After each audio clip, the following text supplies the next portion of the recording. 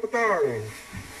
Okey, hari ini kita ada ikan siakap ataupun dalam bahasa Indo ini adalah ikan kakap. Ah, ini ikan yang kita dapat daripada Pulau Berwit tadi guys. Kampung Berwit. Okey. Okay, ini ya. Tadi berarti adalah sebanyak 5 kilo. Okey, hari ini kita nak masak apa? Ah, kita nak masak kari. Kita guna kari apa? Stay tune. Okey, bahan-bahan kita adalah uh, serbuk kari. Kita guna kari ini guys, cap penangkap ikan. Okey, cap penangkap ikan. Uh. Kemudian kita menggunakan santan, kara. Kemudian kita ada uh, bendi untuk letak dalam kuah kari dan juga tomato. Semestinya lah kita kena letakkan bawang putih, bawang merah dan juga serai kan. Okey, jadi bawang putih, bawang merah dan serai tadi kita telah tumis. Okey, begitu juga dengan pes kari tadi pun telah ditumis bersama. Ha, Okey, ini tambahan. Ini dinamakan asam keping. Letak dulu. Tadi kita telah tumis lah. Yang ini yang dah ditambahkan dengan air. Stay tune guys.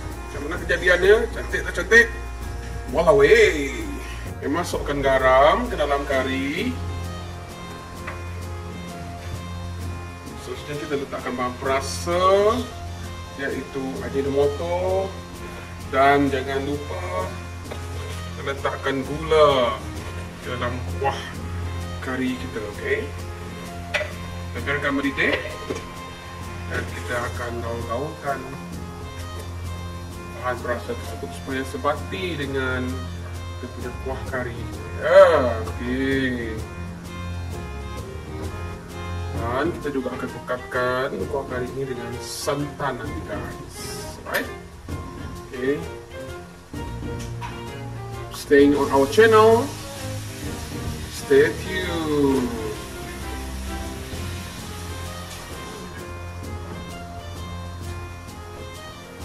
Wah, okay. Sekarang ni kita dah masukkan okay, ikan siakap tadi ke dalam kan. Ah, kepala dah dulu kita masukkan guys. Kepala dulu.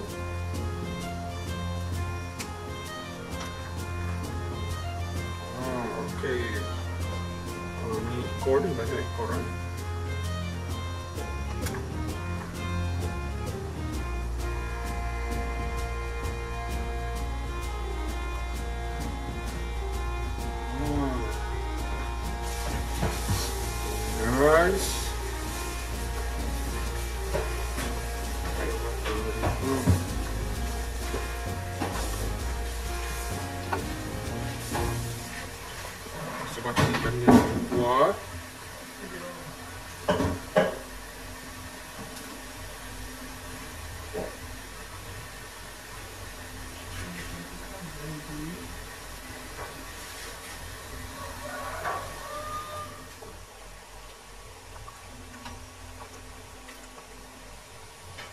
Okey, jadi ikan ni kita dah alih-alihkan. Okey. Selepas itu kita akan masukkan santan ya, dalam kari ikan kita. Kacau perlahan-lahan. Hmm. Saya tengok ni pun dah terliu ya. Sebab kalau menurut uh, uh, nangkap ikan tadi dia kata. Okey. Kalau ikan sekap yang besar macam ni rasa dia lagi sedap. Oh, kita bagi sebati ya.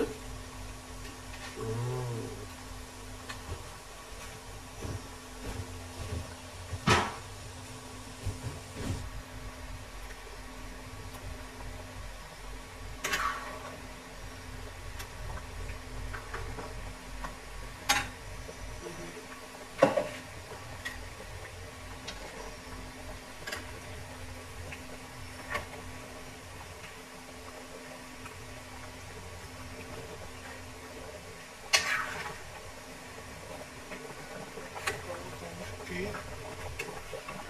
Oh, sikit. Wah, dia pun dah menggeledak kan? Menggelegak.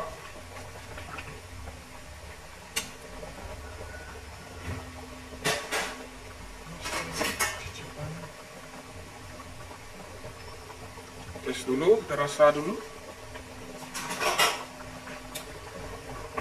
Masih tawar, okey. Tahu-tahu bertambah garam lagi guys.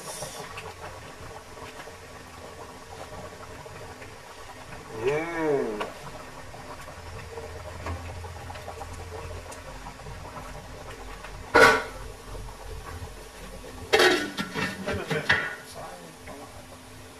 Okey, kita tutupkan dulu ya.